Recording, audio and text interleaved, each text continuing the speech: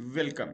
Chapter two summarising data तो आज हम नमेरिकल डेटा को कैसे एग्जामिन करते हैं, उस चीज़ को देखने जा रहे हैं। इससे पहले चैप्टर में हमने देखा कि डेटा क्या होता है वेरिएबल्स डिस्क्रीट कंटिन्यूस नमेरिकल उन दोनों की नमेरिकल में दो चीज़ें। और इसी तरह से कैटेगोरिकल कैटेगोरिकल में फिर दो चीज़ें।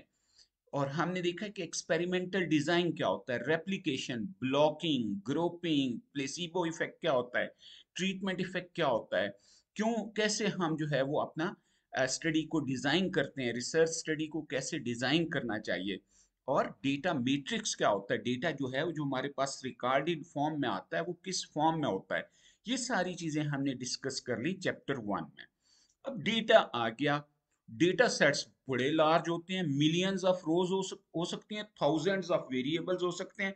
वो अगर आप political science international relations sociology तो वो ज़्यादातर कैटेगोरिकल वेरिएबल्स हो सकते हैं। इकोनॉमिक्स में आ जाएँगे तो कॉन्टिन्यूस और कैटेगोरिकल दोनों मिक्सचर हो सकते हैं। बायोलॉजिकल साइंसेज में कॉन्टिन्यूस कैटेगोरिकल इस तरह से।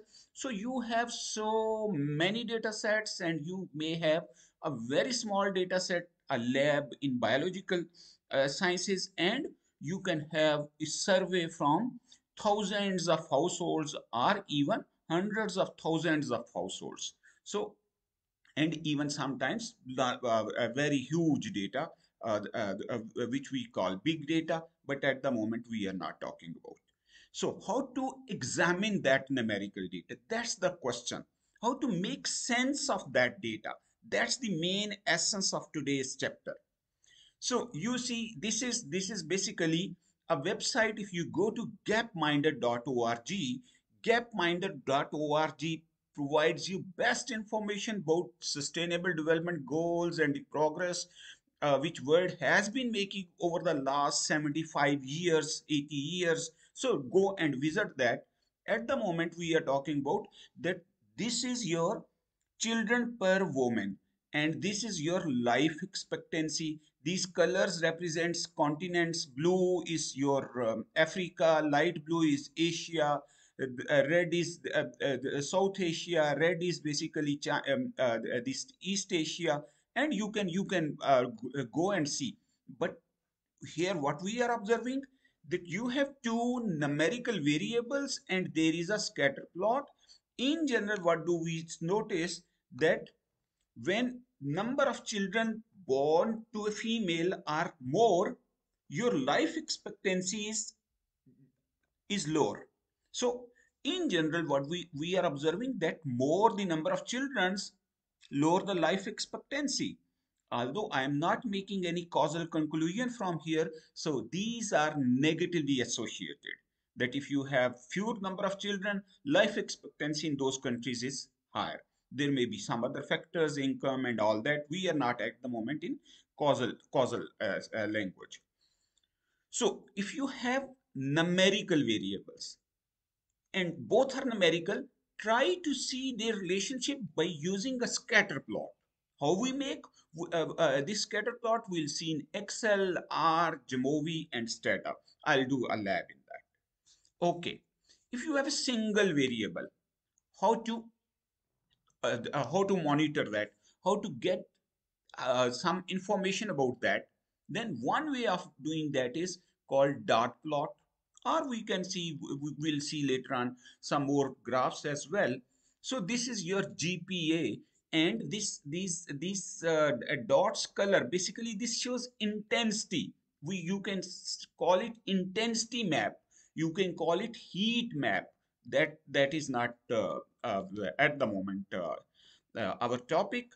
So a darker color indicates that there are more number of students who have this sort uh, this this score for example this one uh, uh, this is very dark color this uh, here we have dark color so more number of students are means more than one student is having this number तो अब हमने देखना है कि जी हम इस चीज़ को किस तरह से लेके चल सकते हैं तो इससे आपको डेटा की शेप पता चल रही है सेंटर पता चल रहा है स्प्रेड पता चल रही है। तो देखिए, तीन चीज़ें। मैंने कहा डेटा का सेंटर किस, वो डेटा जो है, उस, वो किस नंबर के अराउंड ऑन एवरेज रिवॉल्व करता है। डेटा की शेप क्या वो सेंटर से नीचे बहुत सारी वैल्यूज़ हैं, या सेंटर के दोनों साइड्स पे इक्वली डिस्ट्रीब्यूटेड है? क्या वो स्प्रेड बहुत ज़्यादा है, या वो स्प्रेड कम है? तो this is the information which we get by summarising data and this sample mean is measured as this one you all know i am using here two terminologies one is statistic another one is parameter याद रखिए parameters कभी non नहीं हुआ करते parameters जो है ये population की करेक्टरिस्टिक्स होती हैं तो पॉपुलेशन जो होती है ये तो यूजुअली हमारे पास स्टडी की नहीं जा सकती होती तो इसलिए हम जो पॉपुलेशन को की जो वैल्यू है उसको गेस किससे करते हैं? सैंपल से। तो जो सैंपल से वो वैल्यू गेस करते हैं, उसको हम कह देते हैं स्टेटिस्टिक फॉर एग्ज़ाम्पल अगर यूनिवर्सिटी में बीस हज़ार स्टूडेंट्स पढ़ते हैं तो अब बीस हज़ार के बीस हज़ार को मैं स्टडी नहीं कर सकता तो मैं उसमें से दो सौ, तीन सौ, पचास, सौ, दो सौ, वो फिर आगे चल के कोर्स के लास्ट पार्ट पे देखेंगे कि सैंपल साइज़ कैसे लेना है। तो मैं वहाँ से 200 का सैंपल लिया। अब वो जो 200 का अगर रैंडम सैंपल लिया, जो लास्ट टाइम हमने पिछले लेक्चर्स में देखा simple random sampling stratified random sampling cluster sampling तो अगर वो रिप्रेजेंटेटिव हुआ तो मैं जो गेस कर रहा हूँ, वो जो सैंपल मीन आएगा, वो किसके बारे में आएगा? वो वैल्यू देगा, वो एक लिहाज से गेस देगा पॉपुलेशन मीन के बारे में तो population mean population standard deviation population median and all other population summary stats are called parameters sample से रिलेटेड जितनी मेजर्स हैं वी कॉल देम स्टेटिस्टिक तो ये एक पॉइंट एस्टिमेट है, फिर आगे चल के इसको देखते हैं। अब ये देखिए अगेन हमारा जीपीए है डॉट प्लॉट्स की 3.4 जीपीए किन लोगों का है तो वो एक, दो, तीन, चार you can count them and you see you see जो है वो आपके पास किस तरह से ये चल रहा है। तो आपको एक शेप ऑफ़ द डिस्ट्रीब्यूशन पता चल रही है कि ज़्यादातर लोग जो है, उनका C G P A three point four और थ्री पॉइंट एट के राउंड कंसंट्रेटेड है या अबव थ्री पॉइंट फोर है। तो दिस गिव्स यू शेप आपको सेंटर भी आइडिया हो रहा है कि यहाँ पे कहीं सेंटर होगा और आपको स्प्रेड का भी अंदाज़ा हो रहा है कि जी जनाब कुछ लोग ऐसे भी हैं जो माशाल्लाह यहाँ इस तरफ़ भी हैं। ठीक है? तो many are in with four C G P A अब अगर कंटिन्यूस वेरिएबल हो, अगर कंटिन्यूस वेरिएबल हो तो हम एक उसको जो रिप्रेजेंट करते हैं हिस्टोग्राम से रिप्रेजेंट करते हैं। अगर कॉन्टिन्यूस वेरिएबल हो तो हिस्टोग्राम बनाते हैं। अगर कैटेगोरिकल डेटा हो तो हम बार चार्ट बनाते हैं। तो अब यहाँ पे दो टर्म्स यूज़ हो रहे हैं। एक बिन विड्थ है। बिन विड्थ को आम रूटीन में जब स्टेट्स में जब इसमें पढ़ाते हैं तो हम कह देते हैं क्लास इंटरवल है। तो ये क्लास इंटरवल यानी कि यहाँ पे बिन विड्थ कितनी है? टेन की बिन विड्थ है। टेन की बिन विड्थ है। और नंबर ऑफ़ बिन्स क्या होती हैं? One two three four five six seven bins हैं यहाँ पे। तो ये अब आपने वेरी करनी होती हैं। थोड़ी बहुत आपने अपनी प्रैक्टिस के लिहाज से पाँच और बीस पच्चीस तीस के दरमियान कोई बिन्स रखनी होती हैं।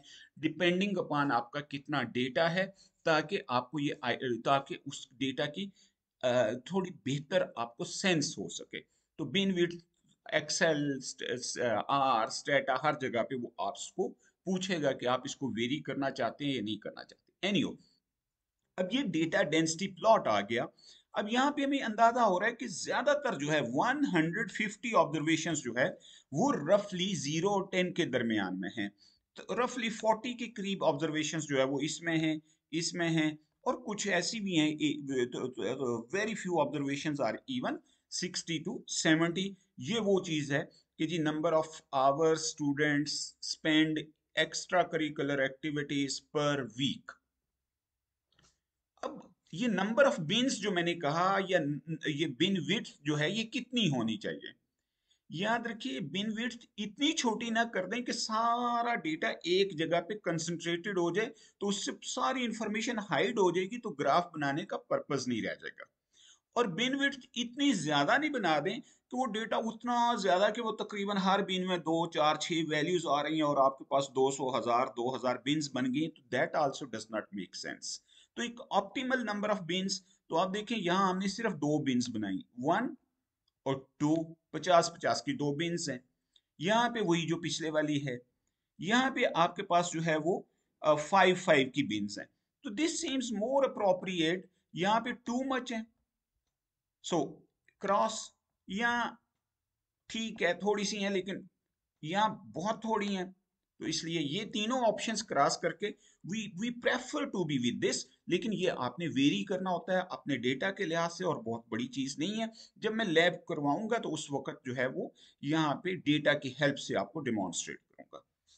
अब देखिए, एक चीज़ होती है मोड आपको पढ़ा होगा कि जी जो नंबर ज़्यादा दफ़ा आता है या जहाँ पे सबसे पीक होती है तो यहाँ पे अगर देखें तो ये आपके पास अगर इसको मैं तो ये इस तरह की चीज़ बन रही है। अगर इसको देखूँ तो ये इस तरह की सॉरी, अगर ये लाइंस जो है वो थोड़ी सी गलत हैं तो ये देखिए, एक, दो, तीन मोड बन रहे हैं। ये तकरीबन मोर लेस कोई मोड नहीं बन रहा। तो ये बेसिकली आपको पता चलता है कि जी ये यूनिफॉर्म है बाई मॉडल है, ठीक है ट्राई मॉडल है तो एक ही पीक है डेटा की, या कि कोई खास पीक नहीं है, या कि दो पीक्स हैं तो this is how you can work for bimodal इसी तरह से जैसे मैंने कहा कि डेटा सिक्योर्ड है। सिक्योर्ड का मतलब यह है कि वो डेटा सेंटर से इक्वल दोनों साइड्स पे डिस्पर्स नहीं है। तो ये अगर आप देखें तो ये डेटा राइट सिक्योर्ड लग रहा है राइट पे टेल लॉन्ग है। ये डेटा लेफ़्ट सिक्योर्ड लग रहा है क्योंकि लेफ़्ट पे टेल लॉन्ग है और ये डेटा शायद सिमेट्रिकल टाइप बन रहा है। अच्छा अब देखिए कि डेटा की प्लॉट से हमें ये भी आइडिया होता है, कोई बहुत अनयूजुअल वैल्यूज़ तो नहीं है। अब अनयूजुअल वैल्यू ज़रूरी नहीं है कि वो रॉन्ग ही हों। कभी वो टाइपो एरर हो सकता है, कभी वो जेनुअन आउटलायर्स हो सकती हैं। तो ये देखिए, यहाँ पे बहुत एक अनयूजुअल वैल्यूज़ यहाँ पड़ी हुई हैं, शायद लग रहे हैं, और इसकी वजह से ये डिस्ट्रीब्यूशन जो है वो सिक्यूनेस की तरफ़ चली जाती हैं। तो number of hours per week student spend on extracurricular activities तो ये राइट सिक्यूर्ड है और ये जो है वो आपके पास कुछ अनयूजल ऑब्जर्वेशन भी मौजूद हैं। सो दिस इज़ इस इस हिस्टोग्राम हमें ये आइडिया देती है। मोडेलिटी अभी मैंने बात की थी। तो ये देखिए यूनि मॉडल है, क्योंकि हमारे पास एक ही पीक है। ये देखिए बाई मॉडल है, दो पीक आ गई। ट्राई मॉडल हो गया। या मल्टी मॉडल उसने जनरल वर्ड हम यूज़ कर देते हैं। Know, this is uniform. Uniform means कि बस हर ऑब्जर्वेशन आने के बराबर के चांसेस हैं। प्रोबेबिलिटी में जाके देखेंगे। सिक्योरनेस तो ये देखिए राइट सिक्योर्ड होगी this is left skewed this is symmetrical हाँ जी, अब बात आती है कि which of these variables do you expect to be uniformly distributed weight of adult females भाई वेट ऑफ़ अडल्ट फीमेल्स में तो ये होगा कि एवरेज के अराउंड सबसे ज़्यादा फीमेल होंगी। फिर जो थोड़ी सी कम वेट होता जाएगा, वो कम होती जाएँगी। बहुत, बल्कि जो फीमेल है, वो भी कम होती जाएँगी। तो सेंटर में पीक होगी। तो इसलिए यूनिफॉर्म तो नहीं हो सकती कि जी, जितनी जो है, जिनका वेट जो है, वो सिक्सटी के जी है या फिफ्टी एट के जी है या वो तो वो इक्वल होगा नहीं। जो आपका एवरेज के करीब सबसे ज़्यादा कंसंट्रेशन होगी। Number of females having average weight वो सबसे ज़्यादा होगा। नंबर ऑफ़ फीमेल्स में बात कर रहा हूँ। इधर हॉरिजॉन्टल एक्सिस पे बिन विथ होंगी कि इस रेंज में कितनी फीमेल है, जिनका ये वेट है इस रेंज में कितनी है, इस रेंज में कितनी है। Salary of random sample of people from North Carolina भी सैलरी जो है, ये इन जनरल इनकम जो है, ये in general right skewed distribution होती है। वजह यह है कि लो अर्नर इनकम वाले लोग बहुत ज़्यादा होते हैं और वेरी हाई अर्निंग इनकम वाले लोग भी होते हैं but they are few in number उनकी अर्निंग ज़्यादा होती है। हाउस प्राइसेस भी इसी तरह से सिक्योर्ड होंगी इस तरह से। लेकिन बर्थडे आप किस दिन पैदा हुए हैं? किसी महीने की, किसी एक डे पे तो that seems a uniform distribution इसको आप स्केच कीजिएगा, सोचिएगा वर्कआउट कीजिएगा। आ, आपके सामने है। आपने ये नेशनल ज्योग्राफी का है। मैं इस वक्त प्ले नहीं कर रहा। आप इसको प्ले कीजिएगा एंड सी कि इस वक्त का एवरेज पर्सन किस तरह का दिखाई देता है। 2030 का एवरेज पर्सन क्या होता है? और एवरेज क्यों मिसलीडिंग होती है? इस पे फिर मीन क्यों मिसलीडिंग होता है? इस पे कभी बात करेंगे। अच्छा एवरेज तो आ गई मीन हमने कहा जी sum of all the values divided by number of values अब अगला सवाल ये होता है कि मीन तो दो डेटा का सेम हो सकता है, लेकिन एक डेटा में स्प्रेड ऐसे दूर तक फैली हुई है। एक डेटा में स्प्रेड सारी यूँ होती है फाइनेंशियल डेटा में भी ऐसे ही होता है। तो इस केस में फिर हम क्या करते हैं? हम डेटा की सेंटर के राउंड स्प्रेड को मैयर करने के लिए क्या चीज़ देखते हैं? हम वेरियंस लेते हैं। वेरियंस अब यहाँ पे गेन एक है population variance population variance is called parameter sample variance is called sample statistic तो ये वेरियंस जो है, अब जैसे मीन जो है, वो क्या आया? 6.71 कितना सैंपल था? 217 सैंपल वेरियंस क्या होगा? हर वैल्यू में से मीन को माइनस करते जो पहली वैल्यू फाइव थी, उसमें से मीन को माइनस करो स्क्वायर करो। दूसरी वैल्यू नाइन थी सेम मीन माइनस करो स्क्वायर करो सेम लास्ट वैल्यू सेवन थी मीन माइनस करो। और ये सिस्टम ने करना होता, इसलिए हम इस पे बहुत ज़्यादा मैं फोकस नहीं किया करता। तो ये अब देखिए, ये क्या आ गया? 4.11 आवर स्क्वायर अब आवर स्क्वायर जो है, ये कोई यूनिट है नहीं है।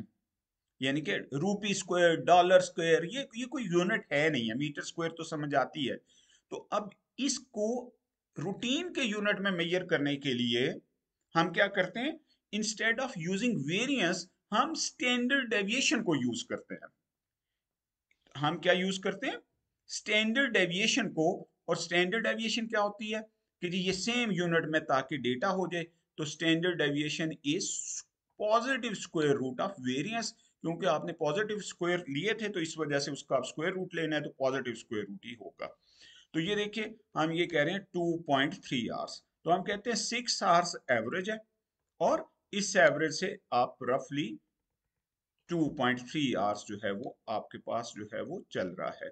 तो within plus minus three standard error आ रहा है, ये बातें हम जब गॉजियन डिस्ट्रीब्यूशन पढ़ेंगे नॉर्मल डिस्ट्रीब्यूशन पढ़ेंगे, वहाँ पे देखेंगे। लेक्चर लंबा हो रहा है, आप इसको स्किप करके, आप पॉज करके, आप किसी और टाइम पे ले सकते हैं। Any will continue for another ten minutes standard deviation क्या चीज़ है? कि जी, ये आपके पास स्प्रेड अराउंड एवरेज है स्प्रेड अराउंड सेंटर है, उस चीज़ को मैयर करती है और रूटीन के उसी यूनिट में मैयर करती है, जिस यूनिट में वो वेरिएबल मैयर हुआ है that's why we use standard deviation तो अब एक चीज़ होती है मीडियन मीडियन क्या होता है? अगर ऑड वैल्यूज़ हो तो सें, जो सेंट्रल वैल्यू होती है और अगर इवन हो तो मिड टू का जो है वो एवरेज हो जाती है। और चूँकि 50 percent of the values lie below that 50 percent of the values lie above that तो इसलिए we call it fiftieth percentile अगर आप क्लास में आ, ऐसे ऐसी पोजीशन पे हैं कि आपसे सिर्फ़ 10 लोगों 10 percent of the students above हैं और 90 परसेंट ऑफ़ द स्टूडेंट्स का स्कोर आपसे कम है तो आप नाइन्टियथ परसेंटाइल पे होंगे। आपकी रैंकिंग असल में रैंकिंग जो है वो परसेंटाइल होता है। परसेंटेज नंबर आपके कितने आए हो? सकता है आपके सिक्सटी परसेंट नंबर आए हों। लेकिन आपके से, फ़र्ज़ करें, सौ की क्लास थी, सिर्फ़ दस लोगों ने ऊपर नंबर स्कोर किए। एटी नाइन लोगों ने नीचे स्कोर किया तो आप नाइन्टियथ परसेंटाइल पे होंगे। अगर 50 परसेंट ऑफ़ द स्टूडेंट्स ने आपसे ज़्यादा स्कोर किया है 50 परसेंट ऑफ़ द स्टूडेंट्स ने आपसे कम स्कोर किया है तो आप मीडियन पे होंगे फिफ्टियथ परसेंटाइल पे। अगर 25 परसेंट ऑफ़ द स्टूडेंट्स ने आपसे ऊपर स्कोर किया है 70 तो आप सेवेंटी फिफ्थ परसेंटाइल पे होंगे। इसी तरह से आप ट्वेंटी फिफ्थ परसेंटाइल पे होंगे। या तो ये बेसिकली इसको परसेंटाइल या क्वार्टाइल्स अगर चार हिस्सों में करेंगे तो जो ट्वेंटी फिफ्थ परसेंटाइल है उसको हम क्यू वन कहते हैं। जो फिफ्टियथ परसेंटाइल है उसको हम क्यू टू कहते हैं। ठीक है जी? तो वो अभी हमारी बात होगी। तो उसको हम Q2 कहते हैं और जो सेवेंटी फिफ्थ परसेंटाइल है उसको हम Q3 कहते हैं।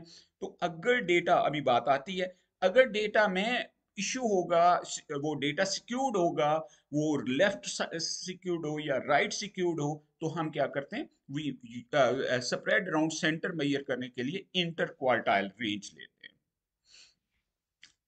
वेरी यूजफुल ग्राफ इकोनॉमिक्स के लोगों के लिए सोशल वेरिएबल्स के लिए this is one of the most important graph क्योंकि हमारा जो डेटा होता है इनकम सैलरी वेजेस मनी ये मोस्टली सिक्योर्ड डेटा होता है।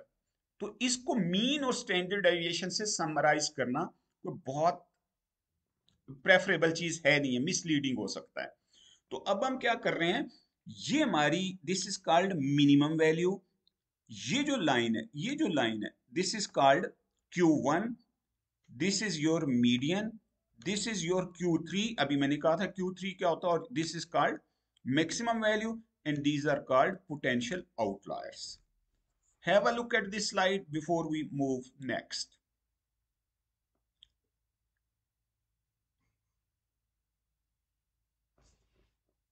fine तो आप देखें तो lower whisker Q1 median Q3 upper whisker और सस्पेक्टेड आउटलायर्स विस्कर तो ये जो value Q3 three plus 1.5 inter quartile range से ज़्यादा होगी तो वो जो है बेसिकली वो बेसिकली आपके पास जो है वो आउट सस्पेक्टेड आउटलायर्स में होंगी। ये क्या है? Q3 three plus 1.5 inter quartile range या जो वैल्यू उससे नीचे होंगी, नीचे वाली साइड पे हमारे पास सबसे मिनिमम वैल्यू से नीचे भी आउटलायर हो सकती थी, वो है नहीं इस डेटा में। तो जो वैल्यू 35 से ज़्यादा हो या माइनस फाइव से कम हो तो वो सस्पेक्टेड आउटलायर होगी। अब आउटलायर्स पे बहुत डिटेल में बात होगी। एट द मोमेंट नहीं बात हो सकती। आउटलायर पे अगर बेस्ट बुक पढ़नी है वन ऑफ़ द बेस्ट चले मैं बेस्ट नहीं कह सकता वन ऑफ़ द बेस्ट तो वो ब्लैक स्वान है बाई निकलस नसीम तालब ठीक है black swan why is it important to look for outliers तो इससे हमें ये पता चलता है, हमने कोई टाइपो एरर तो नहीं कर दिया, हमने वेट फीमेल का हंड्रेड पाउंड्स की बजाय थाउज़ेंड पाउंड्स तो नहीं एंटर कर दिया।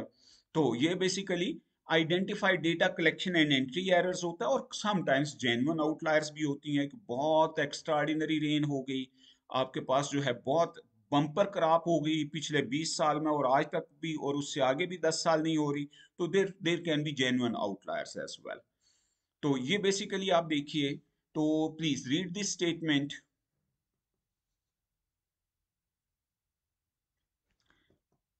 जो मीन होता है ना, याद रखिए मीन जो है, ये स्मॉल वैल्यू से, ये बहुत स्मॉल या बहुत लार्ज वैल्यू से इफ़ेक्ट होता है। कैसे? आप सारे अपनी नोट्स में वन से लेके फाइव तक वैल्यूज़ लें, उसका मीन निकालें one two three four five और उसमें थाउज़ेंड ऐड कर लें। देखिएगा मीन किधर चला जाता है।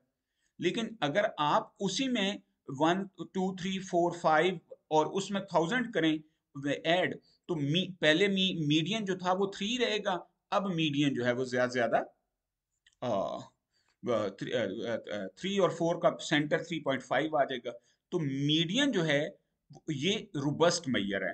तो वो ये पूछ रहा है आपसे कि अगर ten million dollars largest value को रिप्लेस कर दें तो क्या होता है? और अगर स्मॉलेस्ट वैल्यू को लार्ज टेन मिलियन डॉलर से रिप्लेस कर दें तो क्या होता है? तो मीडियन जो है वो काफ़ी हद तक अनचेंज रहेगा, जबकि मीन जो है ये बहुत ज़्यादा चेंज होगा। सिमिलरली स्टैंडर्ड एविएशन चेंज होगी। इंटर क्वार्टाइल रेंज बहुत ज़्यादा चेंज नहीं होगी। जब मैं कहीं लैब करूँगा तो आई डेमोन्स्ट्रेट तो आपने यहाँ पे थोड़ा सा इसको थिंक करना है। Why is it so why is it so क्योंकि इसमें अगर मैं यहाँ पे करना शुरू करूँगा तो it will get too long तो मीडियन और इंटर क्वार्टाइल रेंज जो है वो रोबस्ट हैं। उसकी वजह देखिए, मैं दोबारा से देखिए, अगर आप फ़र्ज़ करें 25 परसेंट ऑफ़ द स्टूडेंट्स ने आपसे कम स्कोर किया है और एक और स्टूडेंट है जिससे 25 परसेंट ऑफ़ द स्टूडेंट्स ने ज़्यादा स्कोर किया है तो अब अगर नीचे वाले स्टूडेंट का स्कोर रिवाइज हो जाए और नीचे तो भाई आप तो वही ट्वेंटी फिफ्थ परसेंट पे रहेंगे। और इसी तरह से अगर ऊपर वाले स्टूडेंट का स्कोर रेट हो जाए उससे बहुत ज़्यादा ऊपर तो आपकी पोजीशनिंग पे कोई खास फ़र्क नहीं पड़ रहा। लेकिन जब हम एवरेज करते हैं तो एवरेज में तो चीज़ें ऐड अप हो रही हैं। तो उस स्टूडेंट का स्कोर जब उस पहले वाले स्कोर्स में ऐड होगा तो मीन जो है वो शिफ्ट होगा। और इसी तरह से या डाउनवर्ड शिफ्ट हो जाएगा। तो मीडियन इनकम रिपोर्ट करनी चाहिए रादर देन मीन इनकम क्योंकि मीन इनकम में क्या होता है कि अगर फ़र्ज़ करें, आपने बिल गेट की, वो मार्क जर्कबर्ग की क्या है ये जो टेक्नोलॉजी वाला है? इलान मस्क की अगर आपने इनकी इनकम ऐड कर दें तो एवरेज इनकम तो ऐसे चली जाएगी। लेकिन मीडियन इनकम तकरीबन वही पे रहेगी दैट्स वाई ये जो अगर तो सिमेट्रिक डेटा हो तो हम मीन से डेटा को और स्टैंडर्ड एविएशन से समराइज कर लेते हैं। लेकिन अगर डेटा आपका सिक्यूर्ड हो, जैसे राइट सिक्यूर्ड है तो मीन जो है वो इस तरफ़ शिफ्ट हो जाएगा लार्ज वैल्यूज़ की तरफ़। तो मीन ग्रेटर हो जाएगा मीडियन से। और अगर लेफ़्ट सिक्यूर्ड है तो बेसिकली मीन जो है वो इस तरफ़ शिफ्ट हो जाएगा। तो प्लीज़ इस पे सोचा कीजिए, ये याद रखने की कोई ज़रूरत नहीं है। जब आपको ये कॉन्सेप्ट समझ आ जाएगा कि मीन क्यों शिफ्ट हो जाता है और मीडियन वहीं पे रहता है तो आपको समझ आ जाएगी कि जी लार्ज कौन सा है राइट स्मॉल कौन सा है। Okay have a look at this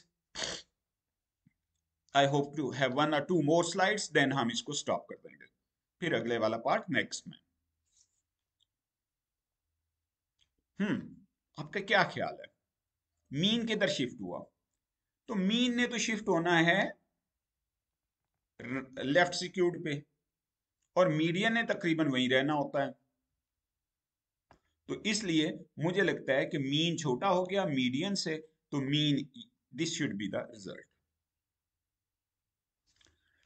when data are extremely secured तो फिर हम log ट्रांसफॉर्मेशन लेते हैं। मैं इनकम का log ट्रांसफॉर्मेशन लेके दिखाऊँगा कि सिक्योर डिस्ट्रीब्यूशन कैसे जो है वो सिमेट्रिक हो जाती है। तो let's stop here and then हम इससे अगले वाली चीज़ें कुछ देखेंगे। ठीक है? तो आप प्लीज़ बी विद मी अगर आपको क्वांटिटेटिव मेथड्स या quantitative reasoning for social sciences mainly बाकी लोग भी देख सकते हैं। अगर आपको इसको, इसकी एसेंस लेनी है तो मैं बहुत ज़्यादा फार्मूलाज कैसे कैलकुलेट होते हैं, वो फार्मूलाज पे नहीं जाऊँगा। तो इसलिए please be with me take care अपना ख्याल रखिए।